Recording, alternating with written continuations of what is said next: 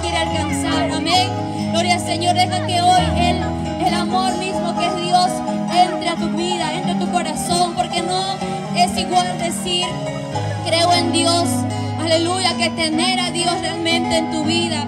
Gloria al Señor. Y dice la palabra que a los suyos vino y los suyos no le recibieron, mas a todos los que le recibieron, a los que creen en su nombre, les dio potestad de ser hechos hijos de Dios. Amén.